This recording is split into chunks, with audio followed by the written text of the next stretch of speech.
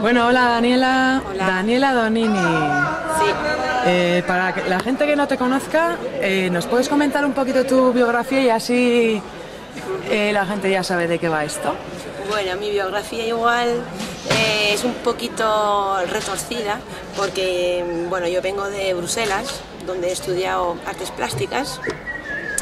Luego estuve un tiempo en Asturias buscando un poco mis raíces españoles, o sea, españolas, eh, porque soy eh, italiana y entonces tengo ahí un poco de, de cacao mental. Entonces, pues eh, he ido un poco a buscar mis raíces ahí en, Asturias principalmente.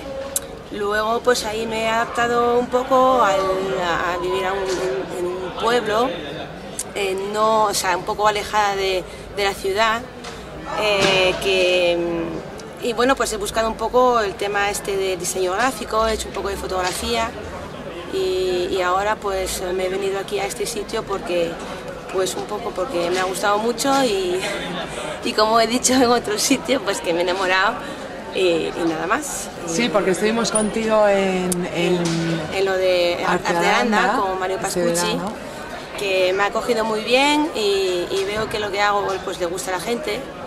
Y luego ahora estuve haciendo una exposición en, en el Arte y Vino, que estuvo muy bien también.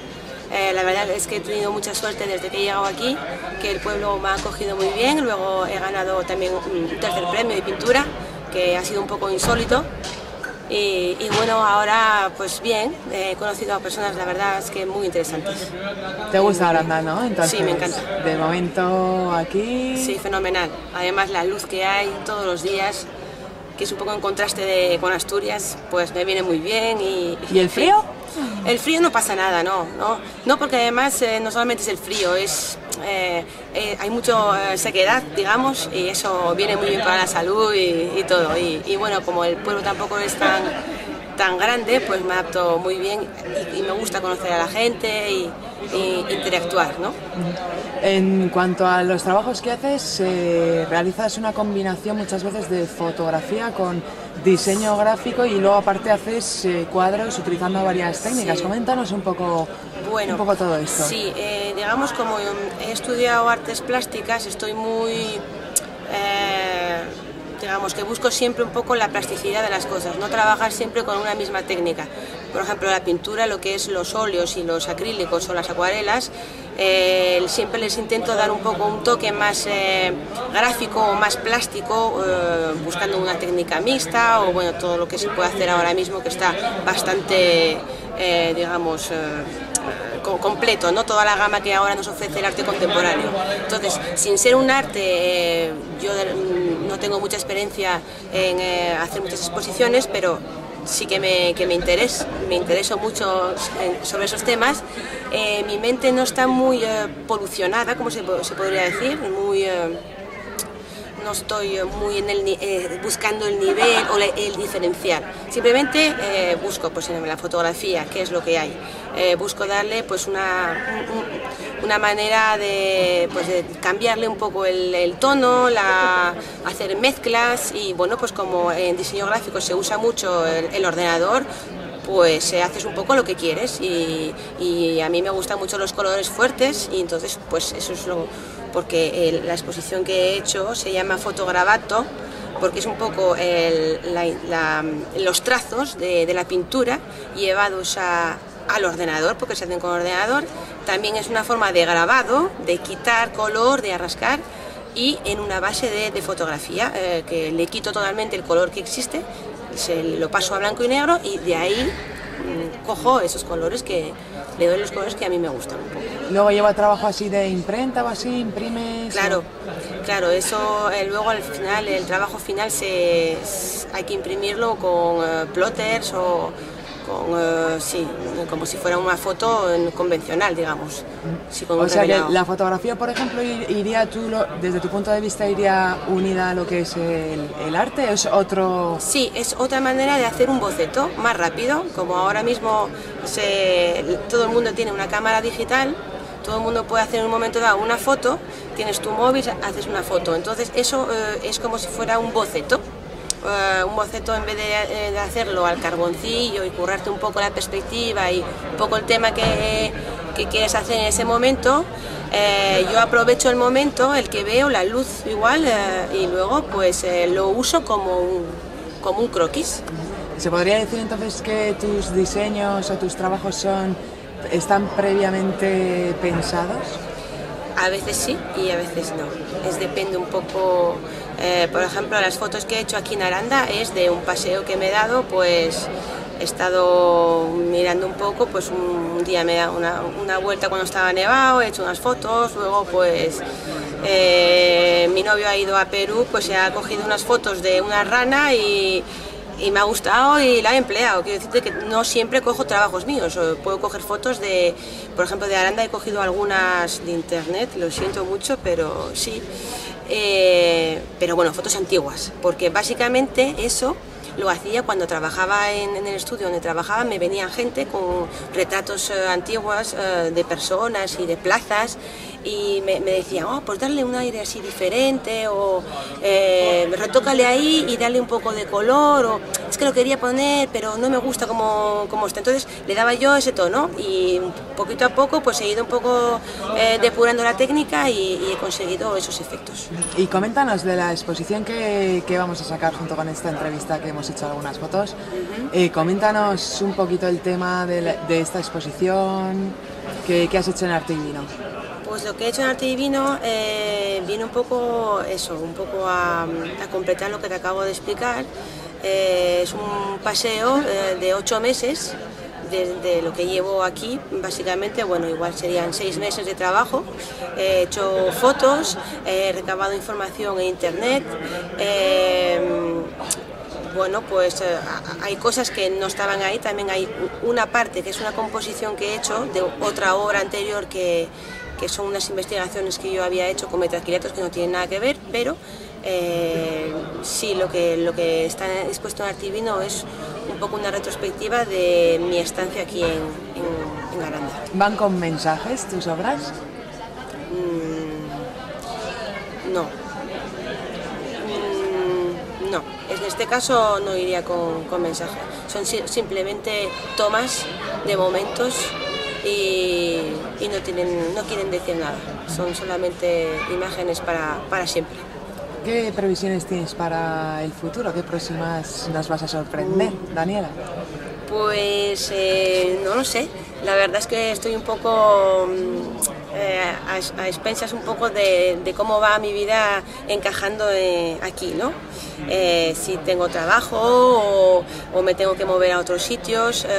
sí que tengo previsto hacer ahora mismo coger otra vez los pinceles y, volver a hacer una, exposición con acrílicos y, volver un poco al tema este del acrílico, siempre con, usando pues eso, las telas, los pinceles y, lo que es lo normal ¿no? dentro de la creación de arte, pero luego sí, buscando un poco la misma eh, técnica que uso para las fotografías, adaptarla un poco al tema este de, la tela, como por ejemplo, el cuadro que, fue tercer premio en el, en el certamen de Villa de Aranda iba un poco en esa línea.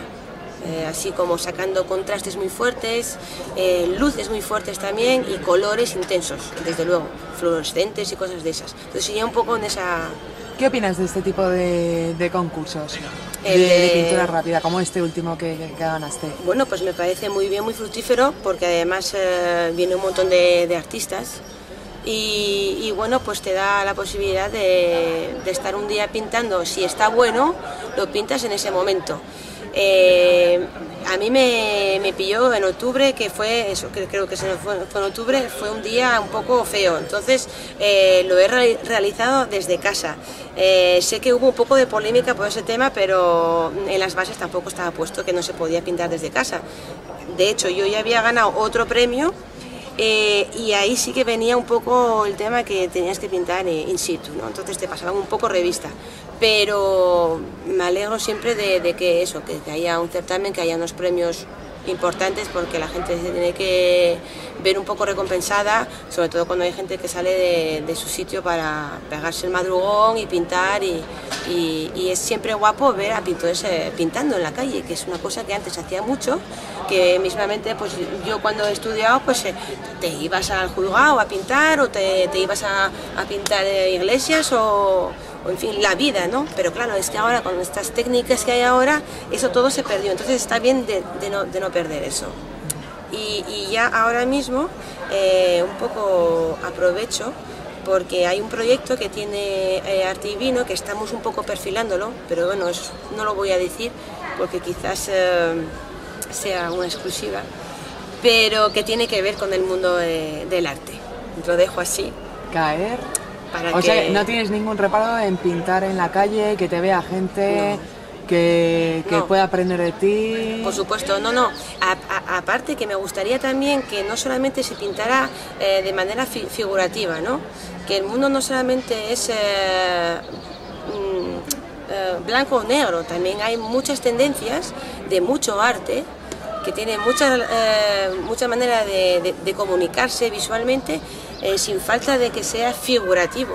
Eh, pues hay muchas maneras de sentir y de, ver las cosas y también podría ser también un poco dar la palabra a todas esas técnicas que no entran dentro del certamen de pintura rápida, porque claro, ¿cómo vas a, poner, yo que sé, a veces... Eh, unos colores en un sitio donde no es. Entonces hay que ampliar un poco las, la manera de ver de esa, de esos eh, concursos. Claro, es la interpretación de, de, cada uno, ¿no? Sutilmente. Eso es. ¿Qué, eh, ¿Tú crees que se nace con arte o el arte se aprende?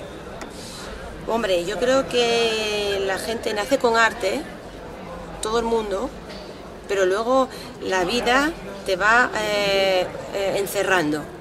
Yo creo que el ser, el ser humano tiene arte porque tiene de alguna manera eh, pues muchas maneras de, ser artista. Lo que pasa es que en, la sociedad actual nos eh, tenemos que ir cerrando para aportar, para producir, para eh, tener nuestra vida ordenada y, pues no nos da tiempo a, a sacar nuestro arte. Pero claro, pues por, ejemplo, todo es arte en esta vida, quiero decirte, eh, filmar, hacer eh, la cocina, eh, yo qué sé, tener su casa decorada, tener todo es placer, digamos, y el arte es puro placer. Ojalá todo el mundo lo viese igual. Yo creo que es así. ¿Qué le dirías a gente que o quiere empezar o está empezando? Porque todo tiene, cuando quieres hacer algo, te llevas también tus malos ratos porque no te sale como lo que tienes en la mente, ¿no? ¿Qué le dirías a toda esta gente? ¿Qué le diría? Pues, pues yo creo que, que nada, que cuando eh, tiene que ser, te tienes que plantar y decir, pues tiro para adelante. O sea, hay que, tienes que sacar eh, lo que tienes bueno dentro de ti, sacarlo. Y lo que tienes malo, la rabia, también sacarlo. Porque mm, también hay que a veces eh, plantarse y decir, oh, pues hasta aquí llegué. O, voy un poco más, más allá. O sea, hay que a veces... Eh, acusarse o, decir, pues ahora lo que, lo que quiero y te voy a llevar a la contraria. O sea, hay que tener a veces luchas contra sí mismo para, para después pues sacar lo bueno o lo malo pero por lo menos que no, que no quede la duda de no haberlo hecho, ¿no? Yo creo que he entendido bien la pregunta, ¿no? Sí, sí, sí, perfectamente. Yo creo que eso es un poco el tema. Yo, por ejemplo, eh, soy una persona que no produzco tanto como otros, eh, otros grandes eh, artistas, no me quiero meter en el tema del artista, pero no, no soy una productora de arte como hay otras personas que sí lo son pero porque yo tengo otros eh, pequeños defectos y esos defectos eh, le saco eh, su punto bueno, son como pequeñas joyas dentro de lo que yo hago. ¿no? Para mí es un logro muy grande sacar cuadros acabados. Entonces, cada vez que saco una, obra y la doy por terminada, pues para mí es un logro. entonces, bueno, pues que es bueno, que es malo, pues eso es cada uno a verlo y desde luego no, no estoy aquí en este mundo para, para tener más o menos reconocimiento, simplemente para disfrutar de los placeres de la vida y, bueno, pues hacer un poco lo que, lo que te gusta y lo que te da placer. ¿Se puede vivir del arte hoy? Del arte si lo consideramos así, no como un trabajo, porque generalmente no se considera como un trabajo cualquiera, ¿no? Que tengas tu nómina, que Hombre, hay gente eh, que se que se lo ha montado muy bien en el aspecto que ha trabajado durísimo y que ha llegado hasta donde está. Eh, pienso en personas, por ejemplo, como Néstor San Miguel, que es una persona que he conocido aquí que, que valoro porque, vamos, es un, genio para mí. Personalmente es una persona muy cariñosa y, y que explica muy bien las cosas y que, y que si está donde está realmente es porque se lo ha trabajado. Eh, y hay otras personas que, que tienen el arte como manera de ganarse la vida y que se lo han montado muy bien porque eh, le meten todo el marketing del mundo porque le, le, dan mucha, mucho énfasis a, que su obra se venda, que se le ocurra también no solamente en el estudio, sino a la hora de venderse. Entonces, eh, el arte también puede ser una empresa, eh, puede ir en conjunto. Ahí están las personas para, para poder amoldar su, su, vida a eso, ¿no? Eso requiere mucho, mucha inteligencia. ¿Cómo definirías tu estilo? Yo no tengo estilo bueno, yo creo que no tengo estilo, no sé si, no sé, nunca me lo he planteado, no, sé, no tengo un estilo. Igual hay que empezar a definir las nuevas tendencias, del siglo XXI. Pues es que yo no creo que, que, que haya aportado nada nuevo, eh, la verdad, solamente cojo eh, lo que ya está hecho y lo transformo. Cojo la fotografía y la transformo. Eh, no sé si, si, si he descubierto algo, no lo sé, la verdad no tengo ni idea. Eh, ¿Podrías indicarnos a alguien del que hayas tenido influencia para la hora de realizar o que haya seguido sus pasos eh, de los artistas? Mm, bueno, a ver, me gusta mucho el, carácter eh, de los fobistas. Matisse, por ejemplo, sin lugar a dudas, es una persona que, que, por los colores y las formas que usa me ha gustado mucho. Luego, bueno, pues tienes el pop art, que como Andy Warhol, que se, aproxima mucho a la, técnica o manera de final, él usaba mucho la serigrafía, bueno, pues ese tipo de plasticidad. Y, bueno, pues siempre tienes clásicos como Rubens, por ejemplo, que me encanta también por la grandiosidad y porque lo he visto y es un pintor que, bueno, que es, grandioso, ¿no? En, en, sus obras. Y hombre, pues tienes muchísimos luego que me hayan inspirado más o menos. Pues sí, todos ellos un poco, un poco, todos me han inspirado, la verdad. ¿Algún sitio más donde podamos encontrar a nivel virtual o no eh, más información tuya? Pues tenéis la página de Facebook y luego tenéis en isu.com dos eh, pequeñas carpetas mías, dos portfolios colgados, donde podéis también recabar información y ahora mismo estoy haciendo mi blog Así que espero que salga pronto, lo acabe y, bueno, podáis ahí eh, recabar información. ¿Un mensaje para los arandinos que te han recibido con los brazos abiertos? Pues nada, que como son castellanos y, dicen que los castellanos son un poco cerrados, ¿no? Eso dicen. Pues nada, que se sigan abriendo más todavía y que haya eh, más cultura, más diversión de, cara al arte de que no hay que ser no hay vamos que no hay que ser cuadriculado y que, que el mundo de del como te podría decir yo de, los conceptos modernos de, arte eh, tengan también su, cabida. No solamente los certámenes eh, figurativos como los que hay pero que pueda haber otras tendencias más más cañeras digamos. Hay algo en Aranda así que, que eches de menos o en falta pues sí, hecho de menos, por ejemplo, se ha organizado unos cursos de Néstor San Miguel eh, y monográficos de otras personas que han sido muy interesantes. Luego el sitio donde hemos estado pintando, al final creo que va a ser un, centro joven y hecho de menos no poder estar en contacto con más pintores eh, a la hora de, pues, de interactuar un poco entre nosotros y tener una sala ahí donde cada uno podemos, podemos dar unos talleres, sí, ese, ese tipo de, de, encuentro que siempre es interesante de cara al arte porque creo que aquí hay mucho arte. Sí. ¿Conoces de algún tipo de ayuda que tengan para los artistas? Mm, hombre, pues eso siempre se puede solicitar al, al mismo ayuntamiento, sí. Eso desde luego. Y luego, bueno, pues que hagan también concursos de, de, carteles, porque hay muchas fiestas y también se pueden hacer certámenes para carteles, pues por, ejemplo el de carnaval, que este año no se ha hecho. Eh, ha sido un poco, lo siento, tengo que decirlo porque no lo he hecho, no lo he dicho en su momento, pero ha sido un, certamen eh, dado a dedo, o sea, no certamen, no, un cartel hecho a dedo, y que se podía haber hecho público, porque hay mucha gente que, valora mucho esos proyectos. Sí, y además es una manera también de que se... De que se ¿no? Sí, y luego que se oiga hablar de Aranda, del carnaval de Aranda, de las fiestas de Aranda en otros pueblos. Hay carteles, pues por ejemplo, como los, los de eh, los Sanfermines, que siempre, eh, y además son certámenes de, de mucha categoría. O sea, que estas cosas hay que valorarlas. Hay que fomentarlas. Hay que fomentarlas, eso. Claro que sí. ¿Y alguna cosita más que quieras añadir, Daniela? Pues nada, que, que muchas gracias por darme la bienvenida así y que sigamos así.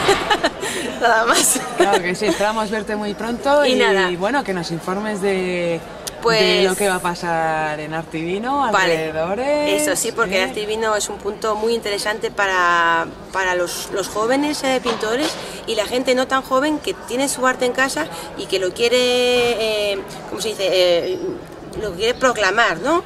Quiere abrirse y quiere pues, enseñarse y la gente a veces es muy tímida para enseñar sus obras y el arte divino es un punto, no es galería y tampoco es bar, es un punto ahí bien para, para, todas aquellas personas que quieran eh, enseñar su arte. Vale, pues muchísimas gracias, Daniela. A ti. Hasta pronto y que tengas muchísima suerte, ¿vale? Venga, gracias. Igualmente. Un placer.